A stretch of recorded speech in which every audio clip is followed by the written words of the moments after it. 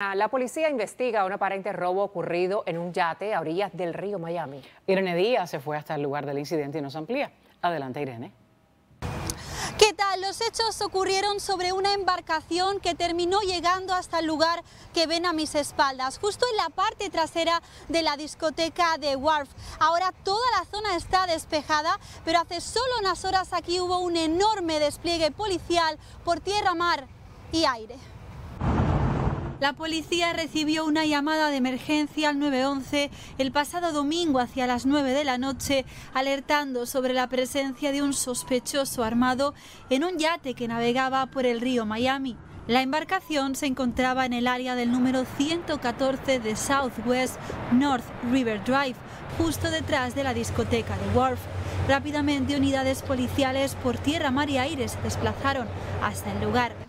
Bueno, yo vivo en el edificio que está atrás de nosotros, Flagler on the River. Tengo la vista justamente hacia el río, entonces nosotros con mi novio estábamos viendo la televisión y empezamos a escuchar muchos, uh, muchas policías viniendo al área. Vimos como porque tenemos vista al otro lado también, vimos como 20 carros de policía se acercaban a esta área también y por el otro lado los botes también de policías como haciendo un poco como un círculo alrededor del yate. Eh, obviamente miramos por la ventana y vimos mucho movimiento, la gente de WARF salió completamente, fue evacuada de WARF para, para poder hacer, para que la policía pudiese hacer su procedimiento. La policía evacuó de The Wharf y forzó a que el yate atracara en las inmediaciones de tal discoteca se vio policías armados, realmente se, nosotros también estábamos asustados, aunque estuviésemos lejos de, todo lo que estaba pasando, muy asustados de todo lo que, lo que ocurría, no sabíamos bien cuál era la causa de todo esto. Las primeras informaciones apuntan a que una de las personas del grupo que había rentado el yate asaltó al capitán a punta de pistola, porque éste se habría negado a extender las horas de servicio contratadas en un principio. Al parecer ese individuo habría exigido al capitán que le devolviera el dinero y si no lo hacía, lo amenazó con matarlo y arrojarlo al agua. Entonces el sospechoso le habría sustraído la billetera y el celular al capitán y amenazó a otro miembro de la tripulación. Pero otro miembro portaba un celular a bordo y a escondidas logró mandar un mensaje de texto pidiendo ayuda.